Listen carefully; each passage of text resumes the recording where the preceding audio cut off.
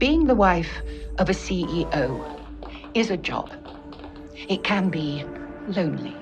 And sometimes we have to make sacrifices. But it has its rewards.